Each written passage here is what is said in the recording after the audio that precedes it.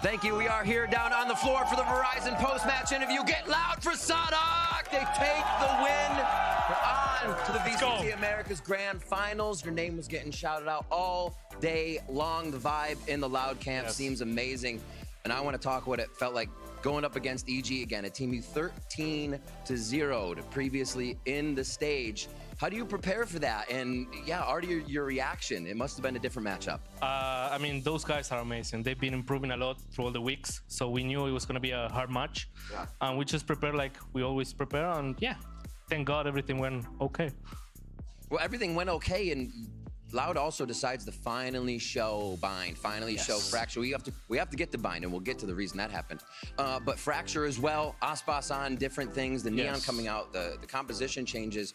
Is it easy to to flow from uh, duelist to duelist for Aspas since you're always supporting him, giving him space? Does it kind of just work for Loud that these duelist compositions fit in any map? Of course, he's really talented. That's why he's able to do what, what, he, what he can do. You know, like he he played three different agents today, and he just went on and on and on and just killing everyone.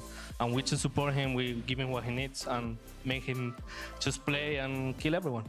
And you did a little bit of that too. Where the, the chamber literally blowing everybody's mind. We expect a different composition to come out on bind, Yes. but the chamber comes out. And why for you? Why was the comfortability there? Where did this come from? I mean, if you don't know what you're doing, you know, the enemy won't know what you're doing. So the chamber was like, yeah, man, I have a TP. I'm just gonna send it home. You know, just go, rush.